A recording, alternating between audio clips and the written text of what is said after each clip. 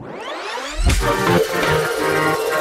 Serial तितली में गर्व का प्यार उड़ा देगा। अब सब घर वालों के होश। आने वाले एपिसोड में देखने को मिलता है कि काका यहाँ पर गर्व को ये कहते नज़र आते हैं कि भाई, तू अपने प्यार को चुना, पर अब दिल की सुन, क्योंकि फिर उसके बाद में पछतावाई होगा।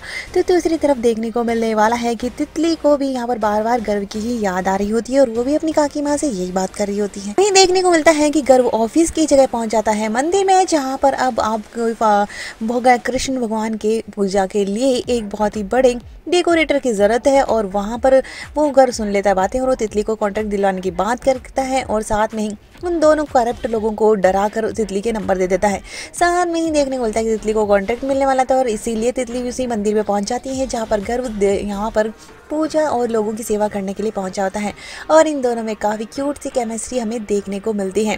देखने को मिलने वाला है। इसी कॉन्ट्रैक्ट को लेकर यहाँ पर तितली पर उसके काका बहुत बुरी तरह से भड़कते नज़र आने वाले हैं और इस पर हाथ भी उठा देते हैं, जिसके बाद निकर बीच में आता है और कहता है कि आपकी दया की मोहताज नहीं है तितली, क्योंकि मैं उससे प्यार करता हूँ। और तितली की मांग में सबके सामने सिंदूर भर देता है और दोनों के दो, उसको देखने को मिलने वाला है कि वहाँ पर अब कहानी में आएगा बहुत ही बड़ा ट्विस्ट जहाँ कृष्ण भगवान की पूजा में ही अब अब भर देगा।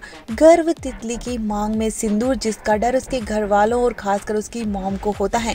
यानी कि कोयल माँ अब यहाँ पर तितली को गर्व से दूर रखना चाहती है लेकिन इसी बीच जब दोनों ही परिवार आमने सामने होंगे और इसी मंदिर में पूजा होगी उसी वक्त गर्व सबके सामने तितली की मांग में सिंदूर उभरते नज़र आएगा जोड़ा देगा सबकी खुश।